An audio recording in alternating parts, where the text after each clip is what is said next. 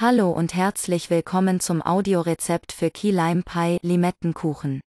Ein Key Lime Pie ist der Staatskuchen von Florida, seine Füllung besteht aus Limettensaft, Eigelb und Kondensmilch.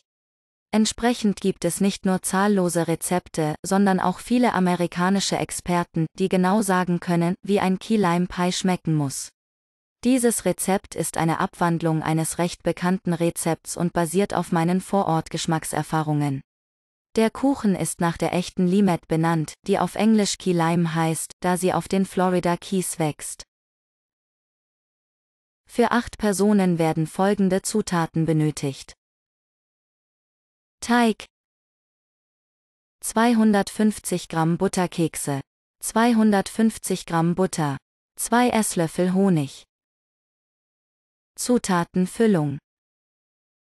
800 Gramm gezuckerte Kondensmilch 4 Eigelb, 200 ml Limettensaft, entweder frisch gepresst oder fertig.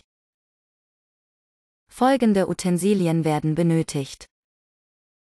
Springform O 26 cm. Zubereitung. Teig.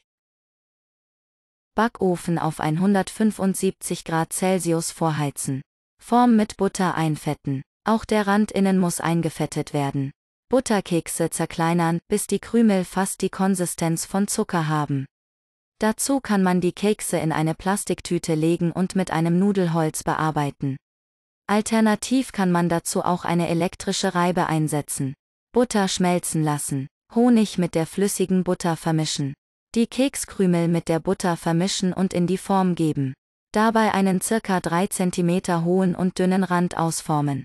Darauf achten, dass der Boden gleichmäßig dünn ist. Circa 8 bis 10 Minuten bei 175 Grad Celsius backen. Füllung. Eigelb schlagen bis sich eine hellgelbe Farbe einstellt. Die gezuckerte Kondensmilch mit dem Eigelb vermischen. Limettensaft unter die Creme rühren. Pie. Backofen auf 175 Grad Celsius belassen. Füllung in die vorgebackene Teigform geben. Pie wieder in den Backofen schieben und 20 bis 25 Minuten bei 175 Grad Celsius backen. Pie aus dem Ofen holen und abkühlen lassen, danach über Nacht in den Kühlschrank stellen. Als Beilagen eignen sich Schlagsahne. Diese Varianten gibt es. Man kann den Pie auch mit einem Beiser krönen oder nachträglich mit Limettenscheiben dekorieren.